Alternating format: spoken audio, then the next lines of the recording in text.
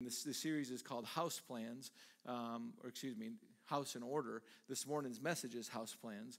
Um, but what we've been we've been talking about is something that, and I just want to give a little bit of backstory. And Pastor Evan and myself are going to be doing this uh, morning's message together. Um, this is something uh, again with house plans, house in order.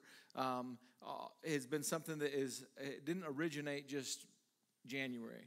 This is something that really in the end of October, and I would even say a year prior, uh, October 20, 2023, 2020.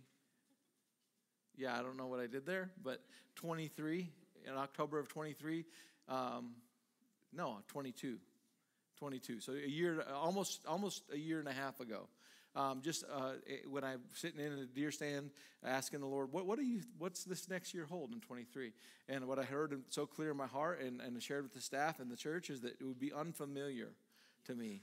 That there would be a move, there would begin to be this beginning of, uh, of what is not the norm. You know how many of you know when you're in a place that's unfamiliar, you, you happen to look for some directions, you're having to trust different things, you're ha- you just can't just go do your norm and so 2023 was kind of this beginning of, I would say it this way, a transition or shift in, in just how you're, in, and I would say how we're doing things. And I'm not, and the thing about a word of the Lord is, it's not just uh, personal. The word of the Lord is truly, if it is from the Lord, you'll find that it affects every individual. Like you'll find that there's a you're stepping into a season that the Lord's saying uh, it's not going to be what you've always known. Uh, there's going to be some adjustments you're going to need to make. I'm in other, in other words, I'm beginning to transition in you into a place of greater trust, which is sometimes we're the place we don't want to be, right? Um, or or just there's a, just a shift. I, that's the way I could explain it. And then uh, as we came, as I was sitting just a year later, and I'll tell you, for me and for this house, that was hugely accurate, right?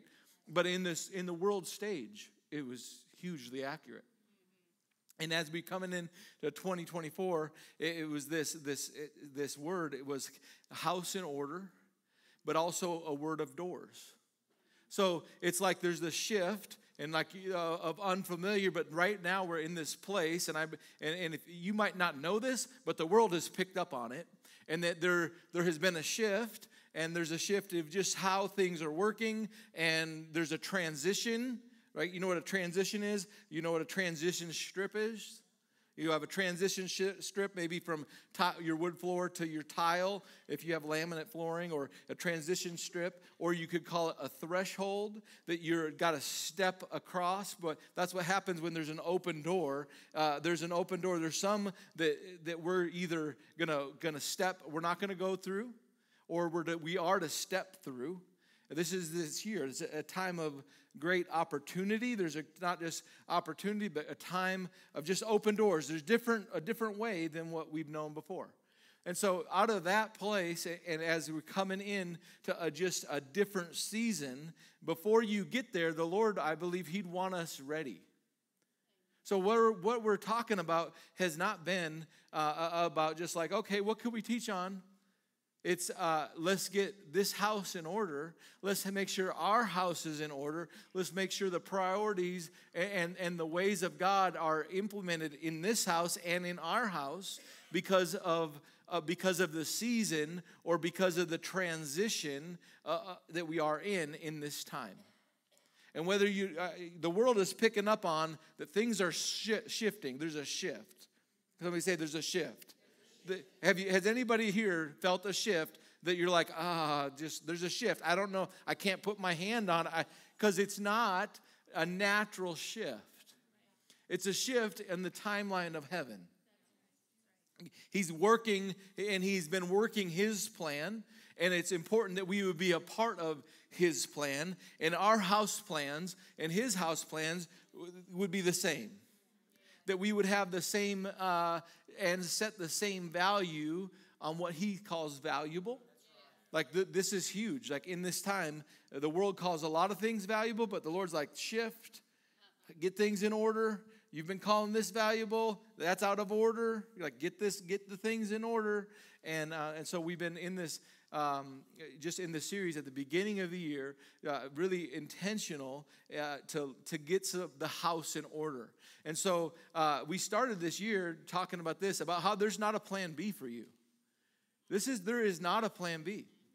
And, and you cannot, in this season, you cannot ask God to bless your Ishmael. Uh, you can't just go about your, your own way. And, and I would ask this question again What have you and what are you doing with the promptings of the Lord? Now, the thing is, is you know what the Lord has spoke to your heart. Nobody else but you. You can lie to your heart, but your heart won't lie to you. And so, what am I doing with the promptings of the Lord about, you know, when He deals with me about a little thing? Is that, am I like, oh, yeah.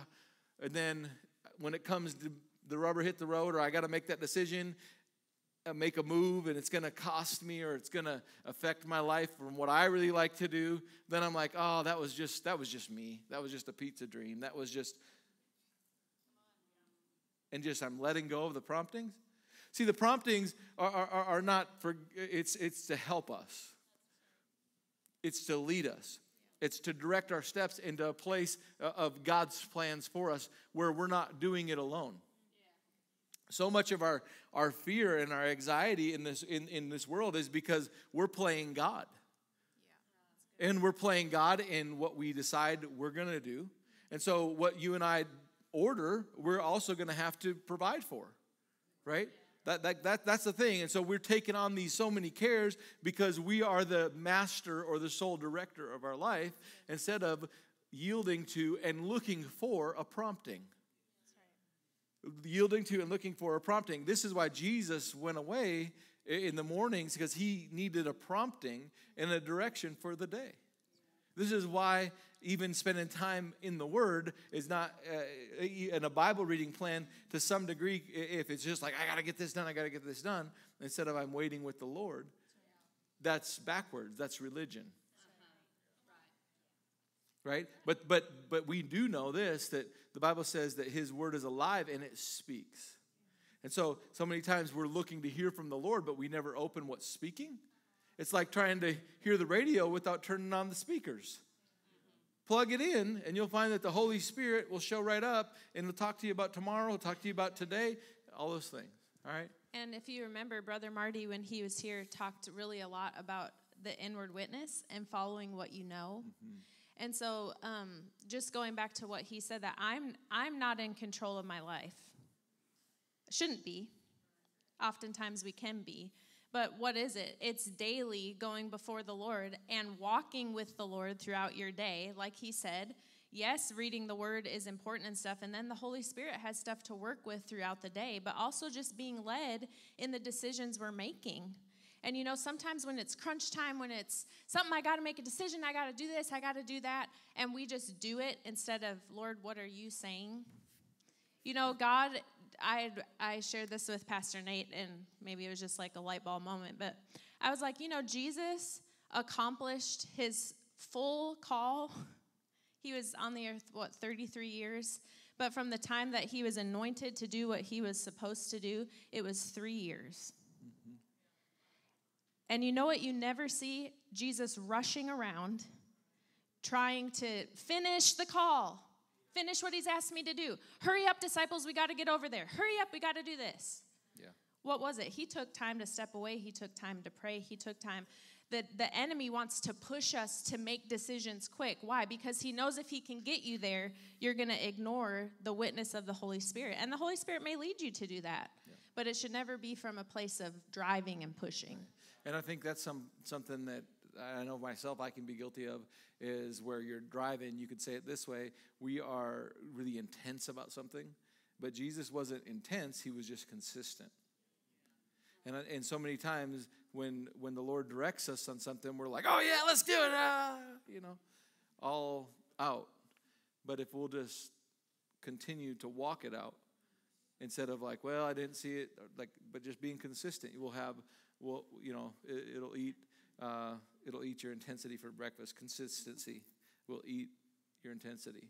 All right. Um, so anyway, so we were talking about Plan B. No, don't. There is no Plan B. And then we went into uh, Plan Plan A. So begin to get back out the words of the Lord and imagine, plan, plan A. If you've ever built a house, or if you maybe have uh, did a Pinterest or a kitchen remodel or a bathroom remodel, um, it doesn't just happen that quick. You have uh, you, you, you get ideas. You you begin to look at, at colors. You begin to uh, see this bathtub or this faucet and you're like am i going to pick uh, gold or am i going to pick oil rub bronze or am i going to pick brushed nickel? Well i don't know. Is that going to go with this color? Because i really wanted this color. And you begin to imagine what you're looking for and, and, and eventually you'll get to where we're talking about today. You'll get a plan right but but right but you got to begin to imagine plan A. You got to begin to imagine God's what God has said. And the gift again, there is no plan B. The gifts and callings, and, and God knew you and He formed you and He set you here for such a time as this. You're on this earth not by accident, but by heaven's design. And he, there are gifts and callings in you that He is calling for, and He's asking and desiring for you and I to steward in this moment but to steward them would mean to put action to them, but I can't put action to what I don't understand or what I don't see. And this is why so oftentimes we're not walking in and with the plan of God because we haven't even taken time to see or get on the same page, if you will, on figure 1 3, right? To put the to put the wheel on the bike. You understand what I'm saying? So imagine, you know, begin to imagine plan A. And then we talked about this that that uh, the next week we said, you know, you won't even, you won't imagine. You, you'll get tired of the imagination if, if it's not desirable for you to serve the Lord. We talked about, as for me and my house, uh, we're going to serve the Lord. That means we're going to serve the Lord, but it's got to be desirable for you. That, that he said this uh, in in um, he said if if see, serving the Lord doesn't seem desirable to you, or if it seems like raw, like raw, that's it's actually uh, like that's actually the word raw. But if it seems like you're to have to make a decision. And uh, I think this is huge for us is we need to be honest with ourselves. Uh, we need to be honest with our spouses. We need to be honest with our children that I just really am tired of serving the Lord. Okay. Say it. Say where you're at. Be truthful with yourself. Don't live a lie. Because, see, God can't even work with you when you're just meh. You're like lukewarm. He says, what did he say? What did he say in Revelation? He said, I wish you were hot or cold, but because we're indifferent. And where we're indifferent, we're actually holding a role and, and playing a part. And the Bible tells us that we're actually partnered with the destroyer. He says that those who are idle, those who are lazy, those who are indifferent are our brother to the destroyer.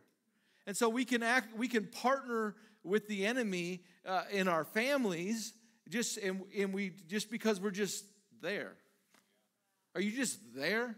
Because if you're just there, guess what? The devil's there. And he's in your house and you're living a life and you're saying, oh, come on, kids, do what I do, but I'm not doing it under the. And we wonder why our kids grow up because we're not, we're not, there's no fervor here. See, if there's not fervency, then you're not hot. And this, we can get to this place in our lives where, where there's no fervor for the Lord. But we're going to talk about, get to that this morning at the end, but the, the fervor for the Lord, that's a fire. There's a fire. Is there a fervor in your marriage? Is there a fire in your marriage, like a hot in your marriage? There should be. There can be. Let me say this there can be again. Because there was. It was when you said I do, I'm pretty sure it was I do. I do. You can still have that I do and just wake up every day that much that much more in love than you were at 18, 19, 20, 25 years old. All right? And so then we got to this um, uh, heaven's flow. So these are things that are, uh, if we're going to get this house in order, we're going to have to know that it's not plan B, it is plan A. I got to get that back out, put that before me, because that's my will. And then from that, I got to say, yeah, it is God's plans for me. His boundaries fall for me in pleasant places. And then from there, I'm going to say, you know what? It is God's way. It is God's way. and there is an authority, and we talked about the authority and how vital authority is from the Lord.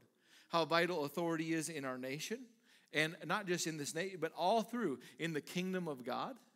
And we saw that where, where there was chaos and what, what happened in heaven was when some when authority was challenged and not only just challenged, but but I, I'm not going to come under authority. That's where you saw just the enemy work. And that's what the Bible actually talks about, where he says, where there's strife, right? Uh, eh, there's every evil work. Strife is this picture in that in James, which is like who's going to be on top of the mountain. Well, you don't get to decide who's on top of the mountain. Do we ever realize that I don't decide who leads? But we live in this America, well, I'm going to cast a vote, so I have a decision. But in God's in God's way, you don't have a decision. He declares, and that's what is, and you come under. That's what it's going to be like in heaven. What he says, you're going to come under. There's no voting or anything like that. And, he, and we talked about how even he, he, he, he, the heart of the king is in the hand of the Lord, and he turns it whatever way he wills. And so we talked about praying for authority, but also coming under authority, and that's that submission. Why, why is authority so important? Because under his authority, we come under his mission in our lives, we, we come under the plan of God, eh, and there's an objective. Did you know there's an objective for your life? And it's not just like, okay, I want to get a house with three, two, you know, three bedrooms, two and a half baths on five acres and enjoy life. That's there's more to life than that. And it, it, it comes from divine order. It comes by being under authority. So we getting these things in order. God's way is best, and His way, His way. And then we talked about this: how so many times um, what challenges are, are, walking in and walking with the Lord is unbelief. And, and we were talking about getting the unbelief out, and we talked about heaven, ultimately, um, who told you? We were talking about who told you that, and how uh, so many times it's not that we're lacking faith in the body of Christ, it's just that there's so much unbelief because there's so many opposing words. And that's what unbelief is it's an opposing word. And right now, everywhere you look, there's words, there's words, there's words. And I really believe that in, I think it's Matthew, it says, Will I find faith on the earth when I come? Well, the only way you can have faith is when you hold that word not next to another word, but it alone. That every other word comes underneath of what God said and that I got to hold God's word as final authority in my life. So, all of this is about getting our, our lives in order and being able to trust and transition and make this, make this step, in a sense, to transition from an unfamiliar way where we've lived in this way where, where, where we can do this. And, and even we could trust this a little bit. And we could trust this. How many of you remember there used to be a time when you heard somebody say something on the news, you go, oh, yeah, that's true. But now you're like, hmm. There used to be a time you'd see something and you're like, whoa, did you see that? Now you're like, they're, they're so, so good at uh, putting things on a, a, page and editing and green screening and, and, and filtering that. I mean, they could put your face on my face and we could look, they can make you, you can talk, they could, I could talk like Snoop Dogg right now. Like if you, you could put a filter on and what I'm saying right now Snoop Dogg would be preaching the word, but it would be me. But this is the amount of filtering is crazy. So the way that you used to live, where there was truth, and the Bible says that as you get into the end times and as you come closer to the end, one of the greatest signs in the in the, the signposts, if you will, of the flashing light of where we're at will be the, the void of truth. Like it, every there, there won't be a, a truth. And so we're at that place. And so the, this is why it's so important for us to get these things in order and hold God's word as final authority in our life. Because the Bible says, and this is what's so cool, God knew the end from the beginning, and He said, I'm going to lead you by the inward witness, by the still small voice. But it, this is important right now that we learn to listen to that. But if, if, if the moment that God's word becomes questionable, right, it does, no longer carries the authority, it moves from a command. And so it's so important that we have God's word in that place of command. And, and some of the other words, we just don't even entertain. You know, have you ever heard that guilt by association? Did you know that listening to uh, the wrong words can just bring you into a place of you, that's what you, you and I are a part of. And, literally bring, we, we, all of a sudden, show me your friends and I'll show you who you are, right? This is huge. This is huge. Like, what are we listening to? And so, uh, when you think about in the military, and again, in, in the military, if you and I are listening to uh, insubordination, then what's to, what, and the general was a catchy ear of that. What, what, what does that mean for you, private? I mean, what that? I, you sometimes like put your put put your imagination to work. The Lord gave it to us, right? But put your imagination to work uh, uh, in heaven when you had the angels fall. I mean, what, what do you think was going on there? How do you think? How do you think the one third became the one third?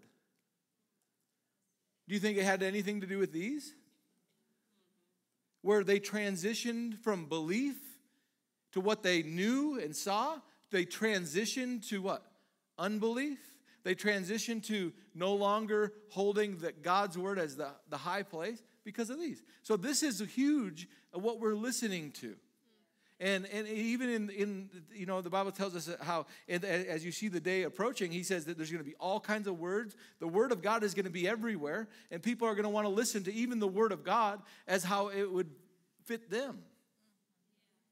And no longer be able to adhere sound doctrine or be planted in a place or in a, attend and bring of a supply in the house of God and have to go through some of the stuff that I don't like when they do that. And I don't like how they do that. And I don't like how that person says hi or doesn't say hi or, or just all of these kind of things where, where and I got to hear the same word that, that the Lord has prepared for me because he set me there. Now, is that putting a lot of pressure and like, oh, pastor? No, this is a, the church is something that God started back when he said, Let there be light. When God said, Let there be light, he didn't, that wasn't his first thought about light. He imagined what it would be before it ever even came about. Did you know that Paul said that, hey, uh, uh, God illuminated to me and showed me the mystery of the church that he had ages before, but it was unknown to them, but it was in the heart of God? Can I tell you the church has been in his heart for ages and ages to come? And, and that he has it set in place, each piece and every part, and not just, that none is more significant than the other, but all are extremely valuable. And if I was to degrade over here and say, well, you make something less, or to call less a part, or that it's not important that you are a part, that would be attacking what God is building. And so the, the, all of this is it's important where God sets you in the body of Christ.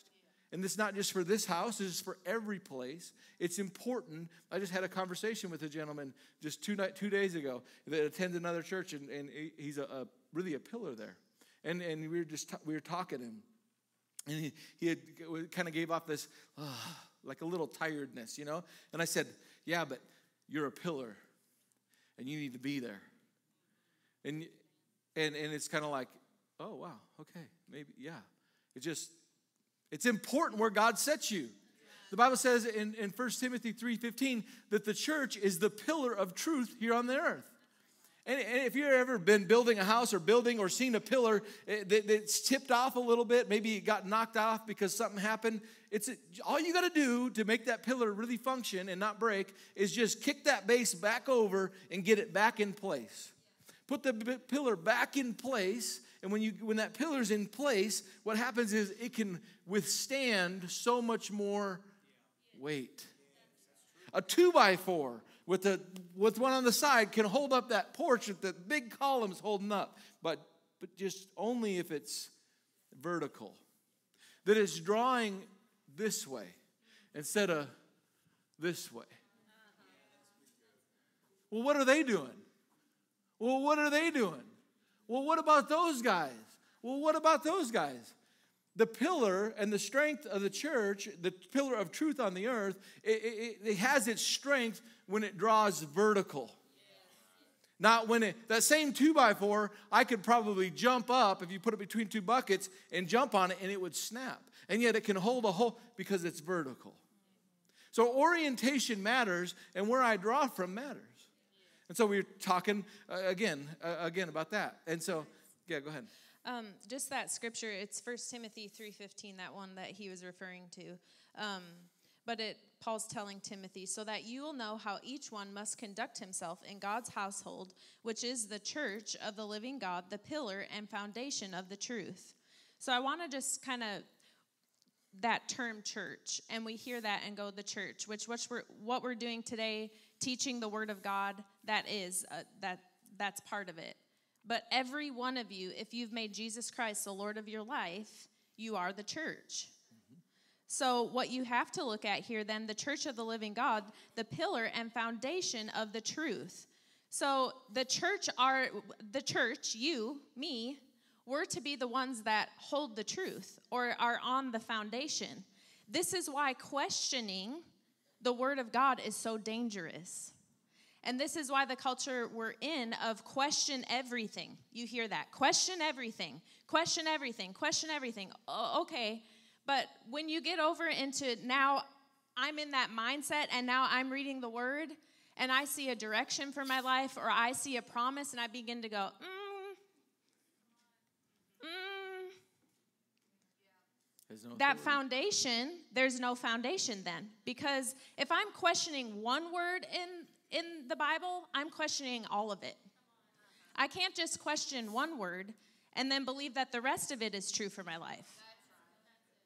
I have to receive the whole truth of God's word. I was just on a Instagram thing because we're building, and I was looking at a design, a girl that was doing design, and um, someone made a comment on there that said, "Is this? Are you real, or is this like an AI, whatever account? Because some of your stuff looks a little." Whatever, computer like and not real. And she's on there going, No, I'm real. no, I'm real. No, I'm real. Well, you know what? That was just the AI chatbot saying that. Yeah. But see, this is what I'm saying. We're filled in, we're in a world who is constantly, and we're bombarded with news. We're, we're bombarded now with AI. We're bombarded with stuff. And if we do not learn to be led of the Spirit and not led by our eyes and our ears, we will be duped. And we will also be duped if we do not take God's word as final authority. Right. What I see in it, what I hear in it, mm-hmm. is true. Amen. Period. Yep. And so even the uh, when you talk about the the church, it's ecclesia, right? It's the church. I believe that's right. Um, but we're talking about this assimilation for a common goal. And so, uh, just as the Bible tells us that in the body of Christ, there's many parts, right? But there's one body. Um, God calls parts together. And so I have, if God's called me to be a part of the hand, then I need to love the hand. I love the whole body, but I need, I'll find my best function where God set me. And so uh, it's okay to call yourself a hand.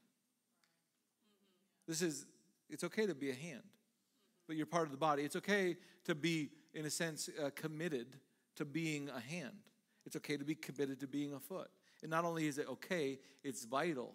Because when things are not connected and not committed, there is not the life flow there.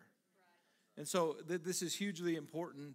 Again, so talking about, um, again, t- uh, just the battling of unbelief, all that was really about battling unbelief, opposing, uh, opposing words, uh, words that give access uh, to us. We, we, words are important. So, and then last week we talked about it. So, again, all this is about getting God's God's house, our house, in order, the, to where there is the flow that is supposed to happen. And so, what you'll find it's just really basic. It's just saying, "Who's God? Who's leading my life? Where do I fit? How do I come under? How do I fit with one another?" And then we talked about the foundation. And we, if you go to uh, 1 Corinthians 13, the very end of the uh, chapter, it says, Now these three remain faith, hope, and love, but the greatest of these is love. So as we build the foundation, the greatest thing about this building you don't see. It's the foundation. Because if that foundation is not sure and if that foundation is not true, then what you see here is it will be dilapidated in no time. It'll fall. It'll crack. And so that foundation we talked about, you you and I, we might only know in part, but I do know my part. And that is love. And so we, we love is a big part. It's the foundational part. And from that place of love, there it says hope and then faith. And so there really is a direction. Now these three remain faith, hope, and love. And, and the foundation is love. And so if but if we're going to build in our lives, you'll find that when you get love in order and you get your motive right, you'll find that your picture, which is hope, will begin to be painted. It'll be God painted, not just self authored or self uh, illustrated. And, and then you'll not only have that picture, but then you'll get to that place of faith, which is the works. So I'll get, I got a motive. I got from motive, I go from motive to a picture. That, that's that hope. And that hope produces something called action or faith. Faith without works, and I can walk in God's plan. But motive is huge. So, pastoring, can I tell you, sometimes um, I could walk out of love. Like I could be tempted, you know, maybe like you, to walk out of love. Not just as a husband, not just as a friend or a dad, but can I tell you, when, when you feel like you've gotten suffered wrong, you can feel like, you know what? I can pastor out of love. You know, that can happen. And so it matters that even the words, again, what we, what we cook here, or what we teach here, we eat. Like I eat what I cook. And and so that message about I don't know everything, but I know I don't know I only know part. But you know what? I do know my part. And what messes me up in, in life and what messes you up in life is to try to figure out the other parts instead of just being focused on what my part is and just letting the rest go. I, I got enough to do to take care of me that I don't need to know anything else. And so that was that was last week. I only know in part, but I know my part. And sometimes I get out of place. Anybody else in here get out of place? Sometimes my wife told me I, I said something pretty rude yesterday. Uh, I'll just tell you what it was. So I'm terrible about this, but I'm gonna. Uh, we, we were working, uh, uh, doing some projects, and and uh, she had lunch ready, right? And so I was had a, actually had a tool belt on, and you know, um, and just working away, and I had one of my, two of my boys with me, and she said, "Hey, lunch is ready. Lunch is ready." And so I was like, "Hey, we should nail the finish nailing these boards up, and then we'll take lunch." And there's, "No, it's ready now." Okay, so take off the tool belt, go over there, and just painting the picture to try to justify my to- terribleness. and I get over there, and uh, and she did. She had everything laid out ready. And this sounds so. This is so rude on me. Okay, I'm just telling you. But the sandwiches weren't made; they were just set out so you could make them. And I said, oh, I thought you said it was the ready. atrocity. huh? I said the atrocity. The atrocities, right? Like it's all laid out there. I'm like, and I said, I'm busy. I was busy. I thought you said it was ready. That's what I said. All right. Okay. I know. I'll show you ready. No, just kidding. Huh? Yeah, that's what she said. No, she didn't say that. My she just mind gave me, thought it, but I didn't say it. She gave it. me the look. I said, and then I was like, oh. I said, this is so frustrating because I was up on the ladder. I had a couple of these boards to nail. When that's ready, and I put my, I was frustrated, and I went back. I said, when it's ready, then let me know, okay? So, and then she told me today, she said, you better be on your A game today. Got, after that, she. I will say I had to repent myself because when he walked away, I was slapping the mayonnaise on the sandwich and I was throwing the chicken on there, and I'm like, "You can eat your chicken." It's Anyway. stinking. So it can. And then I repented. we can all get in a place where conditions and frustrations and, and pressures and all these things cause us to be things we shouldn't be and we know better than we should be but we do it anyway and and you get the check and you get the red flag and you just kind of keep on going past that bridges out sign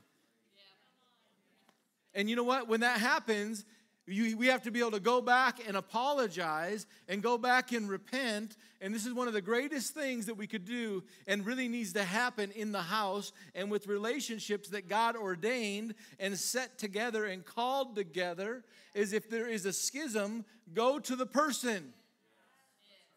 Even if you were a heel or they were a heel, or if it was just miscommunication and it was 2 o'clock, 2.30, and you're eating lunch. That can happen. And when it's 2:30 and you're eating lunch, there's something called hangry that can start to happen. And so that could be part, but bottom line, it doesn't matter what the conditions were, it was out of line. And so because it was out of line, you got to get back in line, and that line is love. That line is love. No matter that line is love. We're great now. In case you were wondering. So A game.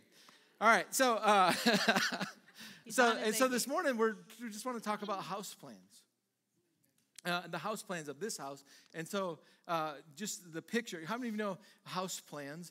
Uh, that's kind of one of the most exciting times. If you've ever built a house, or if you're like one day gonna build a house, uh, you'll find that looking through house plans is really exciting. It's exciting, but it, what's even more exciting than looking through house plans is getting the house plan. Like you went to the blueprint, the architect, and you got the big white tube, and you're like, look it, that's what it's gonna look like. You're like, oh, that's so cool. And you can't really see it all the way because it's just white or it's on blue, but not, they're not so much blue anymore. It's just printed paper, but but you can, it's black and white, and you're like, okay, so what, it's gonna, but you can kind of get an idea, and that's an exciting time because there was intentionality, there was time, there was persevering, really through the oh does the i can't get this to fit here and well i really wanted to have a walk through this and i really wanted to have this here and and to get it to come about right? It takes time. You've heard, maybe heard this said that if a marriage can withstand building right? We this we're on number three all right? Or late lunches. Yeah or yeah. Yeah praise the lord. Uh, just kidding.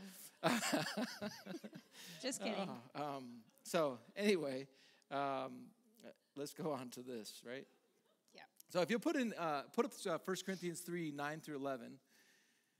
1 Corinthians 3, 9 through 11, it says this, and starting in verse 9. It says, For we are God's fellow workers. We're, we're fellow workers together. Uh, nobody's, in a sense, in a class of their own. Um, we're all just, we're fellow workers. Isn't that cool? Like we're called together. That, that that you bring a strength to me as much as I bring a strength to you. That there's a there's just this fellow togetherness, right? Fellow uh, workers, uh, you're God's field. You are God's building.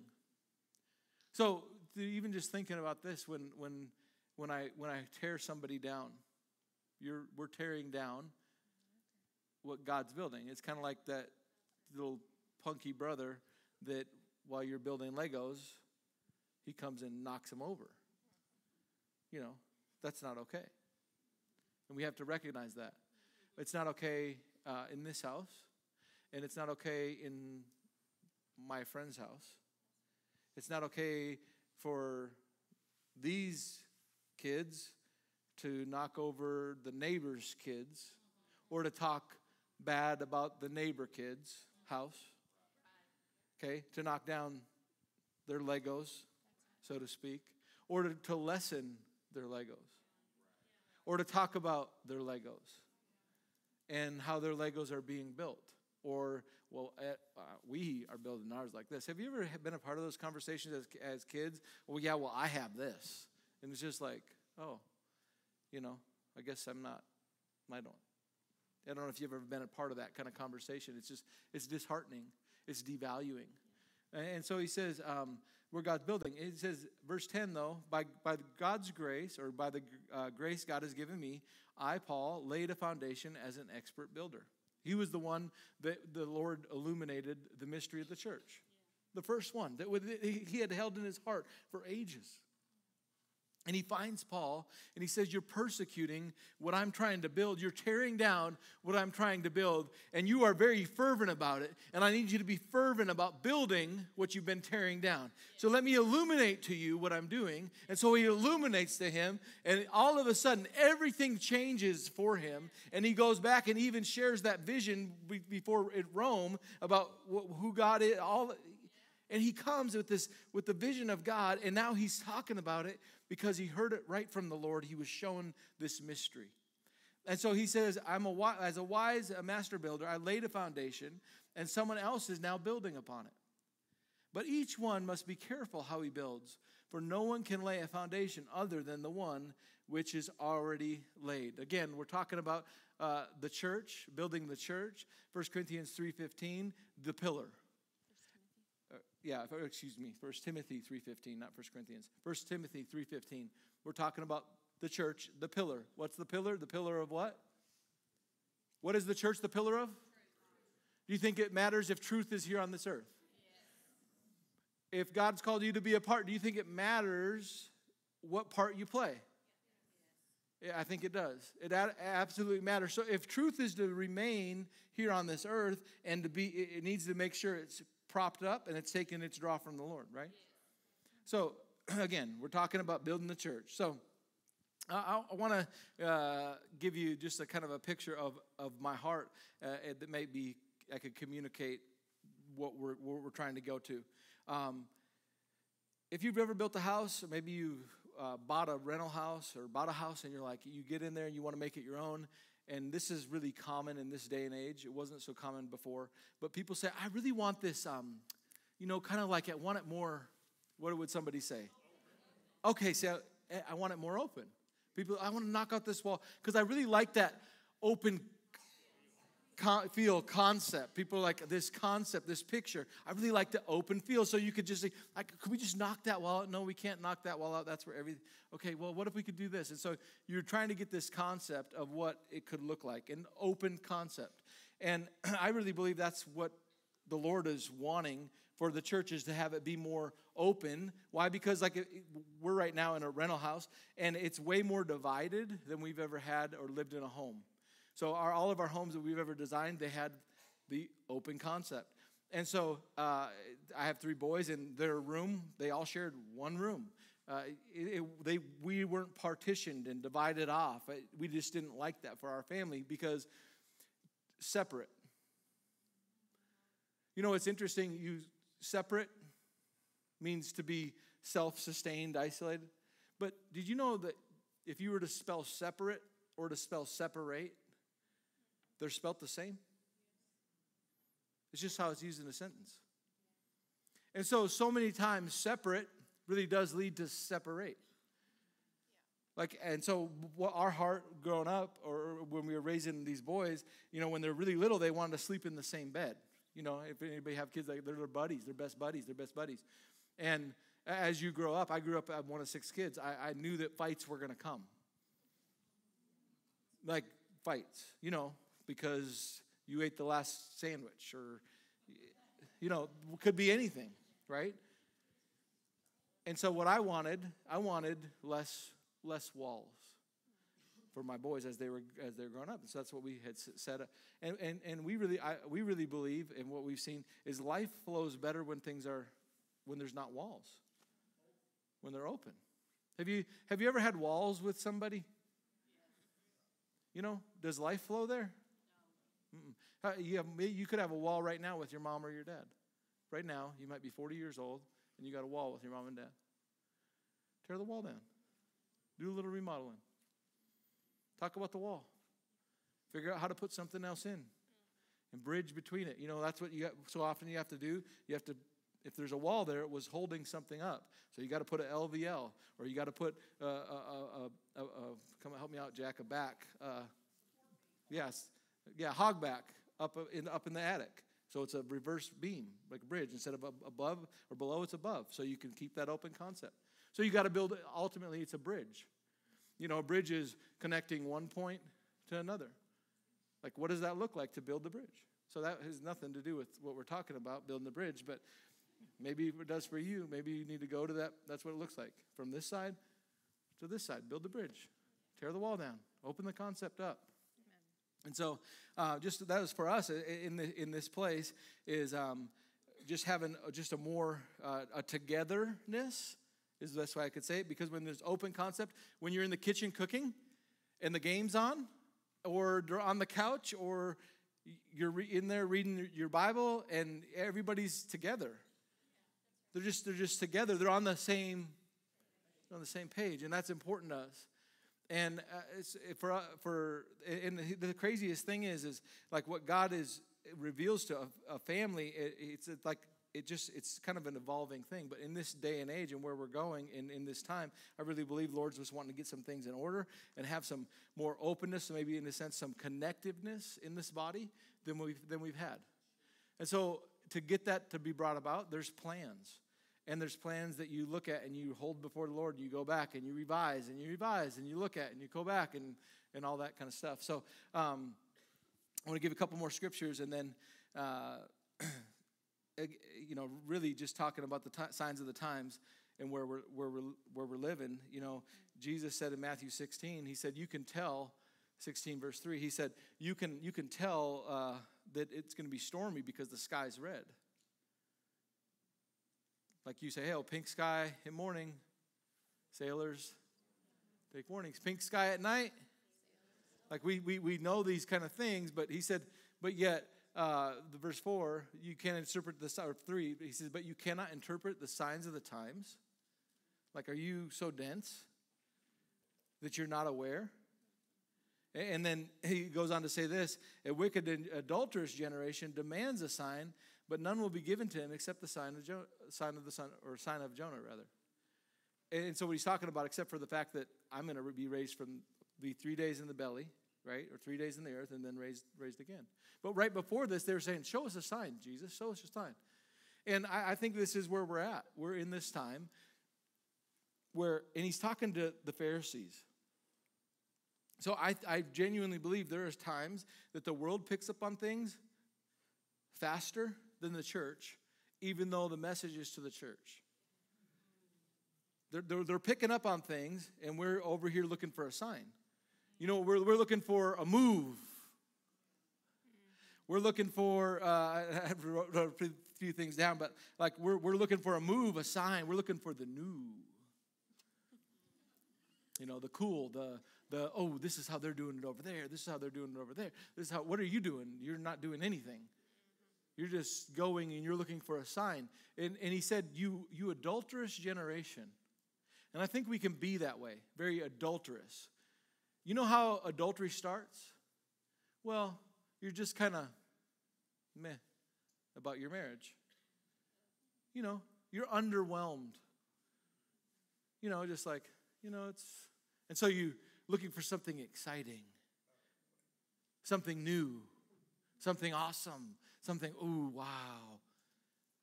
That's so we should try this, or we should do this, or and you, you begin to pick up different hobbies or you, you enter conversations that you have no part of and you begin to water other grass and other relationships instead of your own. This is how people this is how this is this is how people commit adultery. It doesn't happen just in a moment. It's just because they stop doing what they once did they stop doing what they once did and in Revelation chapter 2, 1 through 7, it says this is to the, the, this is to the angel or to the pastor of the church at Ephesus. Um, these are the words of him who holds the seven stars in his, ha- his right hand and walks among the seven golden lampstands. I know your deeds, your labor, your perseverance, and know that you cannot tolerate those who are evil. And you have tested and exposed as liars those who falsely claim to be apostles without, uh, without growing weary. You have persevered and endured many things for, for the sake of my name. Yeah, you're still married. You're still doing this. You're still doing the thing, man. Way to go. 30 years you've been at church. Good job. This is what he's saying. You've persevered. I mean, you still say what's right is right and what's wrong is wrong, but you're just indifferent. This is what he's saying here. He says, um, But I have this against you you, you left your first love. You left your first love. You're not, you're, you, you go to church, you, you, you, we're married, but we're not in love. We're in the same house, but we're, I got my man cave, she's got her whatever. You know? What, huh? She shed. There you go. Yeah, uh, whatever that is. I don't know. Um, you abandon your first love. But he says this, and this is, he says, therefore, uh, keep in mind how far you've fallen. Like, where like call, recall to mind like where once you and I, where church wasn't a burden if there was an extra thing. Have you ever been there? Like, so, like there was a time it was like, man, Sunday night, can't wait to be back at church. But in this day and age, it's kind of like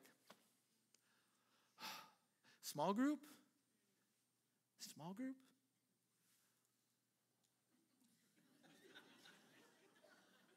I have to lead a small group. I have to go to small group.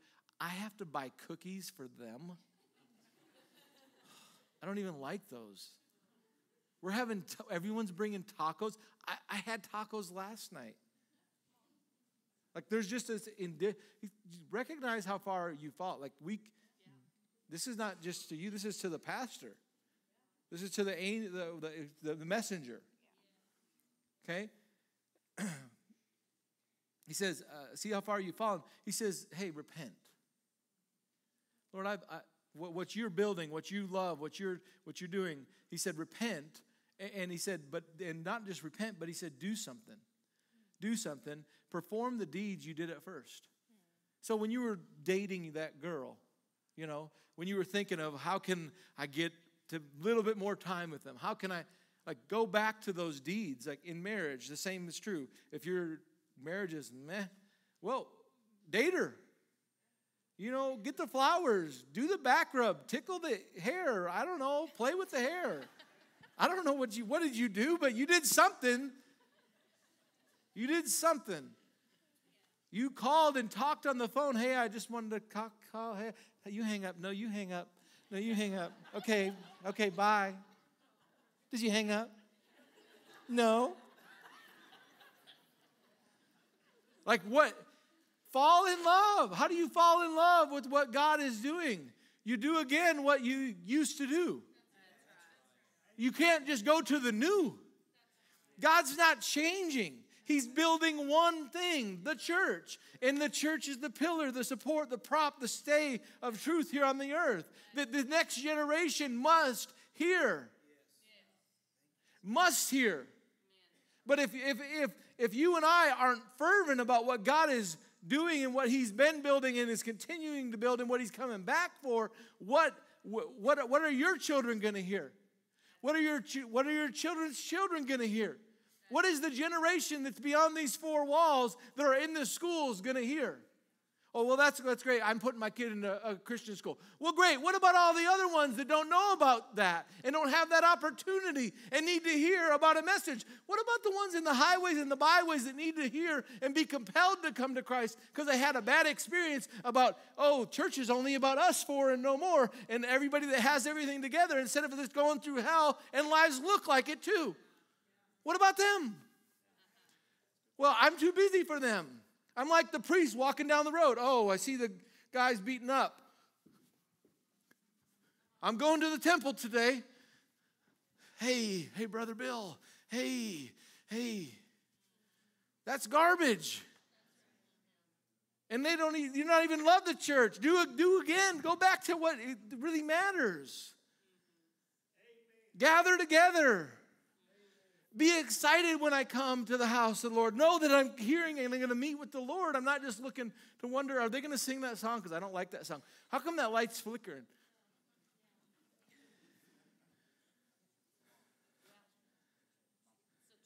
Wonder if pastor's going to or strike out. Like, what? What? What? Like, why can't we have transparencies and just sing Hosanna, Hosanna, or like, I don't know, uh, Amazing Grace, how sweet the sound that saved a wretch like me with just the keys and we don't need everything. Well, because we've fallen out of love. That's why we don't, we've fallen out of love. That's where we can get really easy. And so, do again the things you did. He said, um, I'm gonna I'm gonna end there just for uh, and and I, I wanna I wanna uh, close uh, this morning's message uh, before giving some of the directions of the house plans that we're talking about um, with Luke chapter four verse thirteen. Luke four verse thirteen. Maybe you've heard this story about Jesus being tempted, in the wilderness? How many of you just nod, help me out? Uh, so Jesus was led by the Spirit into the wilderness. After being filled with the Spirit, he was led by the Spirit into the wilderness, and the Satan tempted him there. And he tempted him in different ways, and he said, It is written, it is written, it is written. And in Luke 4:13, it says this, if you put it up, when the devil had finished, when he finished what? All this tempting, he left him until an opportune time. Your translation might say for a more opportune time. And I, I want to just take a moment and, and again, talking about where we're at in the threshold and these doors of time and where in the timeline of heaven. We truly are in a place, um, and we look at this verse, we're thinking, well, the devil's going to come back when he's more weak, right? When he can really get him. But you know when the devil showed back up? It was in the time, and that word opportune time is the word kairos, an appointed time an appointed time. Can I tell you we're at an appointed time? Right now in history, we're at an appointed time. Can I tell you that every, uh, because of the time, the enemy knows that this is a kairos time. This is a, a right place, right time, time. This is a door time.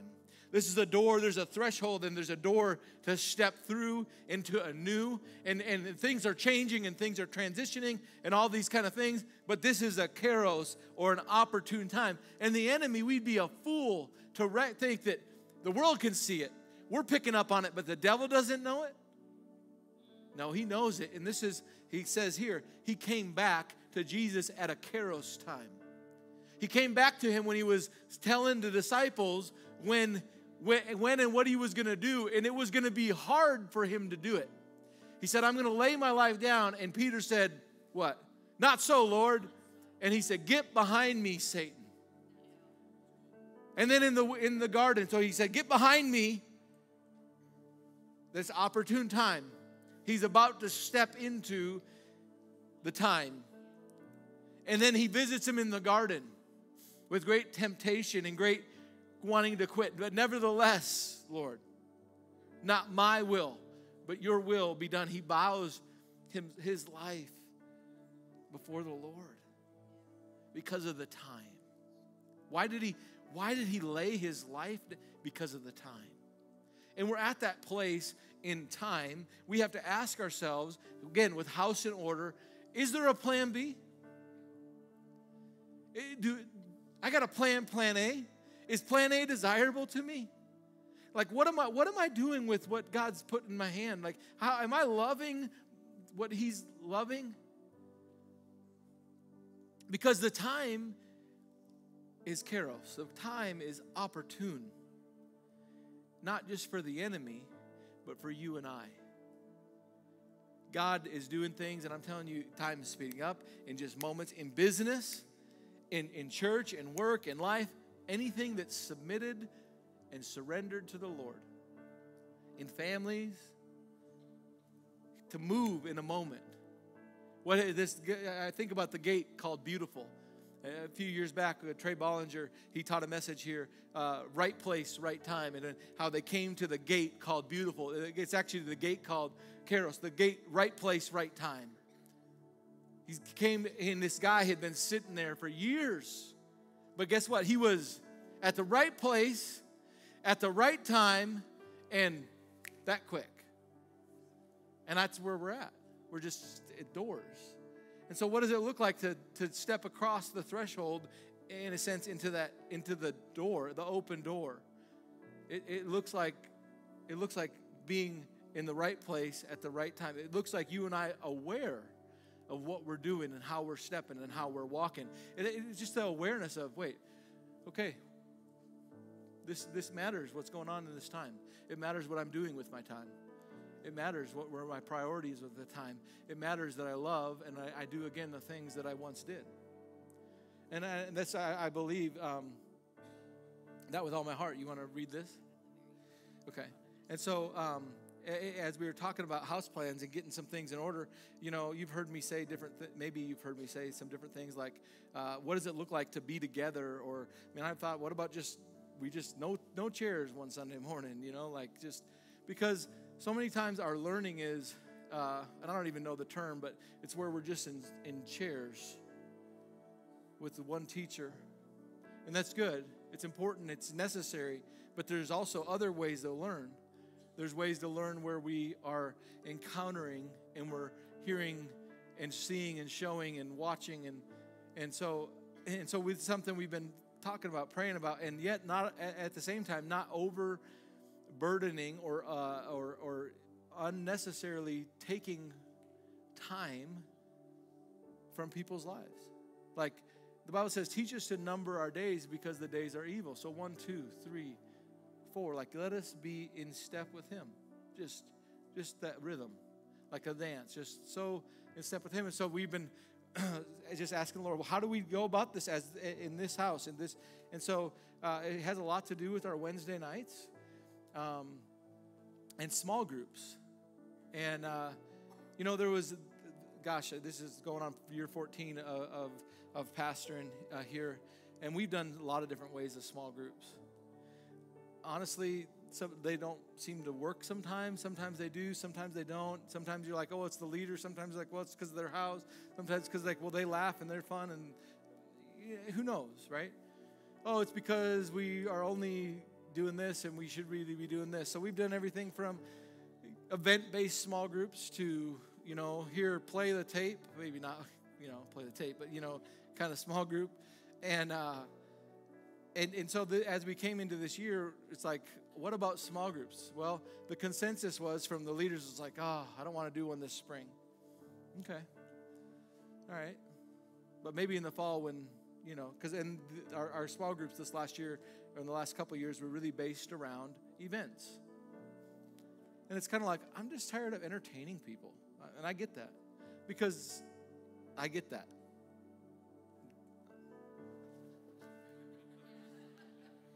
Get that. Um, and so we're like, there, there is an answer because we're supposed to be gathering all the more as you see the day approaching. But we're supposed to be gathering and wanting to come together. But not just only coming together at a just because it was functioned or sponsored or something like that, but there's to be relationships and, and all these things happen. But, you know, so um, anyway, and so we're, uh, we're, we're doing a few things with Wednesday nights, but it has a lot to do with small group and consistency versus uh, just intensity, right? Um, and so, the, just a couple of things. Help me out here. Beginning April 6th, April 3rd, beginning April the 3rd, which is the Sunday or the Wednesday after Easter. March 31st is Easter. So, April the 3rd, somebody say April the 3rd. Wednesday nights We'll move to 6:30. So, all those the FAQs have been thought through. I'm not going to go through FAQs and all that, but at 6:30, our service time on Wednesday nights has moved from 7 to 6:30 starting April 3rd, going forward. Why? Well, we wanted it to be earlier. Number one, to give a little bit more time uh, for fellowship or things that you know, to where it's not 8:30 when we're getting out, it can be 8. Okay, um, and just maybe more people can come. But uh, and on top of that, uh, because we're going to be utilizing every third Wednesday for Small Group Wednesday, and what does that look like? That looks like in this house we'll give a couple announcements and we'll break out, grab a few snacks, and we'll have small groups going on. And this is every week. There'll be childcare here, but every third week on Wednesday night we'll have small groups, Small Group Wednesday, and then on top of that, or in addition to that there'll be one time a month, the first week of every month. Um, not eh, well, again, we'll, you'll see it in transition, but this year there's six more. I think six six times we will meet as small groups in homes. So only six times for the rest of the year, but yet ten times. So it's like sixteen times. You know what that happens? Relationship, consistency, and and what we're going to be talking about is not like some new thing. We're just going to be talking about what the Lord's talking to you about because you wrote down some things that I didn't say. You wrote down some things that the Holy Spirit's been talking to us about, and, and we're going to see how you swing the hammer here and how they swing the hammer here. We're going to talk about the Word. We're going to see how to apply the Word. And tell, talk to me about what it looks like to walk in love. Talk to me about what it looks like. Well, you know, you know what really stuck out to me was this last week when we were talking about the offering and the, the offering declaration. And you're the Holy Spirit, there's just this exchange with one another where we are learning and, and, and, there's confirming words, even just as individuals. I was like, oh, yeah, can I check my answer with you? Oh, I'm hearing from the Lord.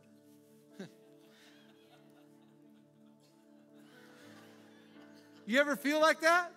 Like, I heard from the Lord. Look, it, uh, th- that's an exciting thing when you get a confirming word. And the Lord's talking to you about that too? Yeah, He's talking to you. Why? Because we're part of His body. And I, we can't be in a place where we have people saying, Well, I, I just don't hear from the Lord. I just don't know how. I can tell you, He's talking to you all the time. And it's time that we know that and we exchange that. So, April the 3rd, starting starting April the 3rd, Wednesdays will move to 6:30. So here's what Wednesday nights will look like going forward. The first and second Wednesday of, of the month is going to be teaching. First and second Wednesday. Third Wednesday is small groups. And then fourth Wednesday is night of prayer. We used to have night of prayer on Tuesday. We need to be praying as a group way more. This house is to be a house of prayer. We're to not prayer is not to be a burden. It's not to be ambiguous or how to put it together, but it's to be something that we're doing together and we're seeing God move and, and He's working in our midst and we're praying, we praying for the church and praying for one another and God's moving.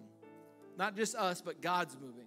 So that's the fourth Wednesday. And then any month it's a fifth Wednesday, we're having what we're calling Encounter Wednesdays. It's kind of like old school Sunday night. You're like, what's that? Well, come be a part, find out.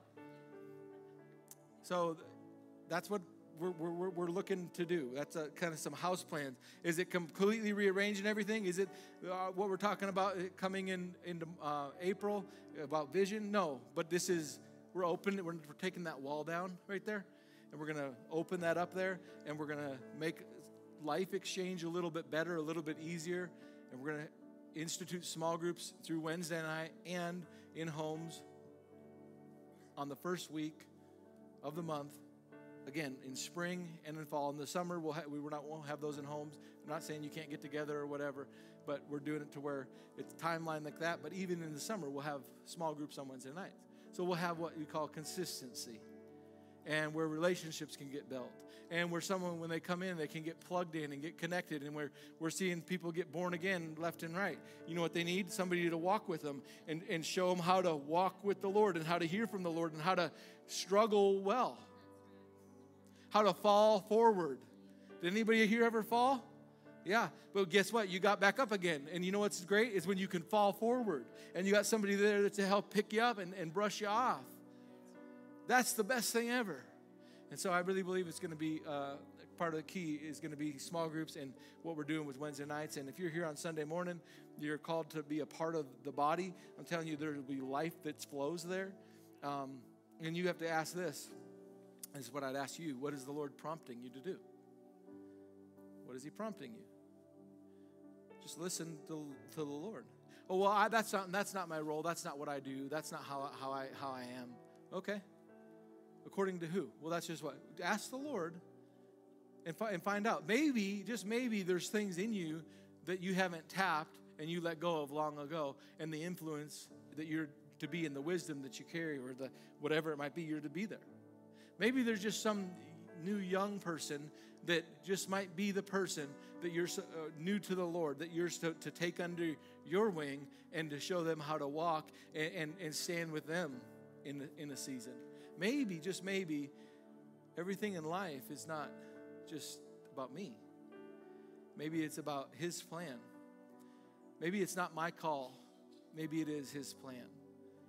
And I really believe that's what it is, and that's what God's wanting to do in this house is re- reignite His plan in this place. So. Yep, and like he said, um, so the Wednesday time change is going to start April third at 6.30 and it'll be like that from now on for all of our wednesdays and um, like he mentioned we'll still have children's ministry available so it's going to be in that same format of um, coming into the sanctuary together and also having children's ministry and youth ministry for your family. And then also um, be watching because we'll have more information on that. But um, small groups will be starting and opening for you to sign up for a group to join April 7th, okay? Yep. So we'll be getting out info on that. Yep. So that's awesome. Do you have anything else? You... Yeah, yeah. Yeah. Well, just that word. Yeah. I, I don't have anything. Okay, so why don't y'all just go ahead and stand? Sorry.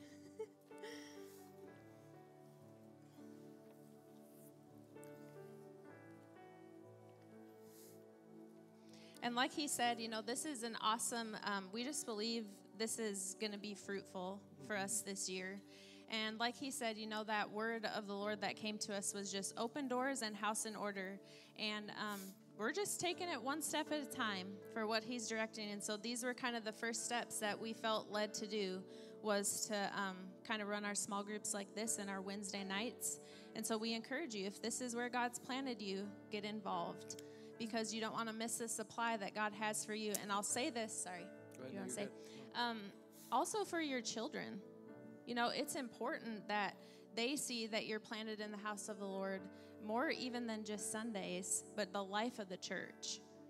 You know, the life of the church and their relationships and the word that they're to get um, on that same level. Amen. For them to flourish. So cool. Talking, I mentioned earlier, talking to a gentleman. him, him and his wife are both business people. Uh, both run separate businesses. They're very successful business people, and both of them they lead a small group. I mean, I just think that's cool. That though they have, uh, you know, 80 employees under, you know, that he's managing and paying role and all this, he's like, yeah, I'm in the house of God and I'm leading a small group. Why? Because I'm an influencer. Because I'm a pillar. Because I'm a pillar. God has set me in the church to carry a message of truth, and that's what I'm here for. That's what I live for. That's what I give for. That's what I give my time, my resources, my thoughts. I, I, I live for. We, this is what we're. Listen, are, are we His or uh, we're His? Is there anything more important than what God is doing on the earth? Anything? There's nothing. There's nothing. And so we didn't want to add more things. We really felt like we were supposed to get one, two, just that, just that life flow, not excessive, not you know, uh, but just Wednesday nights, re- taking off of Tuesday night, and just getting things in order and meeting together uh, in greater ways where there's actually exchange and meeting, and um, and where you you're missed. It's important to be missed. I wanted to read this word just as we close. This was back from 2011, um, but I love what Brother Keith has said before that no word of God is out of date. Amen. Aren't you thankful that when He spoke, let there be light, when He said, before He knew you, He had plans for you, aren't you thankful that those didn't expire just because that was a long time ago? Um, so, Brother Marty, um, which is just such a gift to our body, but he said this, and I just feel this word has just been coming up probably daily um, to me and just stirring on it. And I really feel like this is what you talked about with just this Kairos like opportunity moment that we're in as a church and in this season of time because Jesus is coming back. He's coming back. So um, I just want you to close your eyes and just take this in and just let this, um, let God's word to you this morning. I don't want you to hear it. Some of you have probably heard this word a lot. Some of you, this may be the first time. And I want you to hear it from a place of faith and from God speaking it fresh and new to you. And let that paint the picture that the Holy Spirit's wanting to paint on your heart, okay? It says, It's a new day, it's a new time, it's a new season for you. And I see an open door, and you're going through. And through that door is blessing and favor and peace, and a supply of the Spirit to you and upon you, and your influence shall increase. And the church shall prosper, and its influence expand. And the work of God within this house shall be spoken of throughout the land. And many shall be touched by God's goodness, His love, His grace. And the hand of the Lord shall rest mightily upon this people and this place.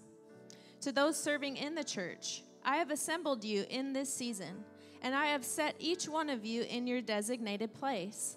And I have anointed you by my Spirit, and I have endowed you with my grace to walk with and beside these pastors to uphold them in their place. And so, side by side, hand in hand, diligently run this race, and the plan of God will be consummated, and his purpose will be fulfilled, and your hearts will be glad, and great fruit will abound as you accomplish his will. Amen. Let's just lift our hands to him this morning. And I want us to say this Be it done unto me Be it done unto me according, according to your word. according to your word. I want you to say it again Be it done unto me Be it done unto me according to your word. according to your word. So, Father, we just thank you. We thank you for this body of believers, this house Thank you, Lord. um, that you've set here in Alma. And we just thank you that you've planted us here, you've called us here, you've anointed us here. We thank you, your hand is upon us to preach Jesus, everyone, everywhere, every day. We thank you in 2024. This will be a great year, a year like never before. Thank you, Father. Thank you, Lord. Increased uh, wisdom, Thank you, Lord. Increased steps, increased uh, connections. Thank you, We thank you for that, Lord. Thank you, Lord. And we just say with our hearts, we're all in. Amen. We're all into what you're building. We're all into what you're doing. Thank you, Lord. Thank you, Lord. We thank you, Lord. Amen, amen, amen. The brightest days of the church are ahead.